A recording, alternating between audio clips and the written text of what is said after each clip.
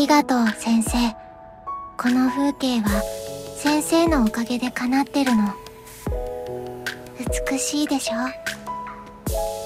間に合ってよかった。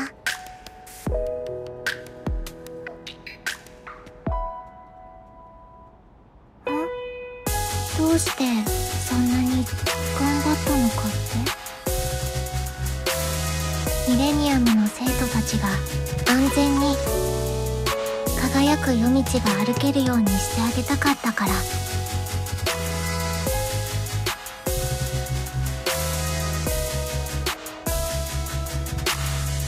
私にできることはこれくらいしかないからそして私にとってこういう瞬間はすでにプレゼント以上の素敵なものなの。